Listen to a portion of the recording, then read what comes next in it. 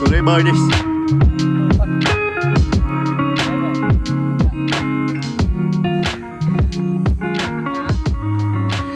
À, anh ấy còn à, mỗi 35 nghìn trong túi. 34 nghìn à để em nướng nó nhỏ vâng vâng vâng báo cáo với anh em.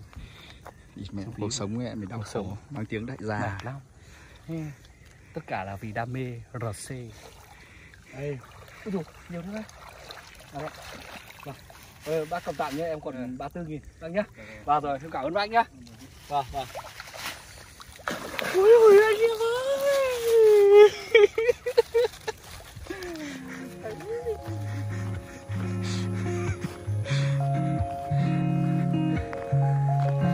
bây giờ tiết mục là anh ấy à, làm cá?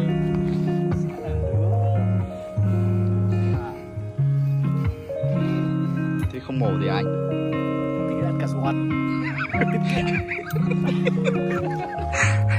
Quên đéo mang à, gia vị. À đấy, có muối miếc này. À thôi, kéo nữa nướng xong rồi bóc ra ăn luôn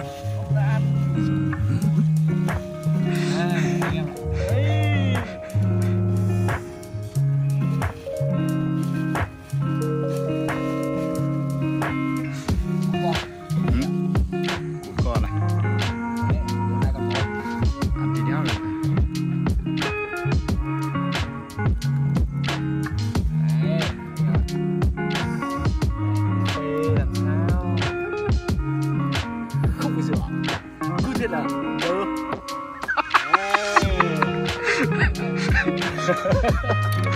Đấy.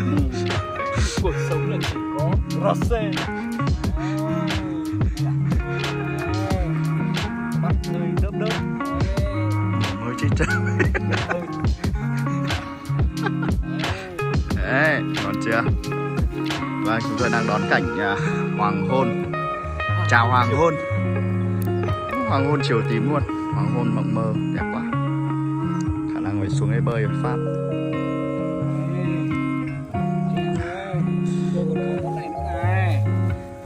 Có gà và có cá thì đủ chất.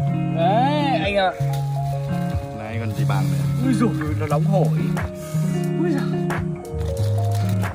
Thì để để livestream lên nhóm.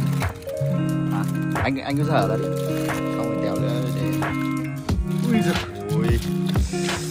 cho luôn cả giấy bạc để vào mà nướng lại còn gì nữa. Không để để để để để chân nướng. Để chân nướng ngon thơm hơn.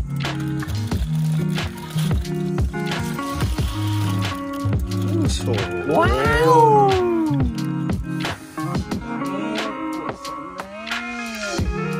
Cuộc sống của thanh niên mà chỉ có 34 nghìn trong túi. Mua được bốn cái. Ba mươi ca thôi mà vẫn cuộc sống nó thăng hoa. Đấy pro hấp. Cho thêm than vào.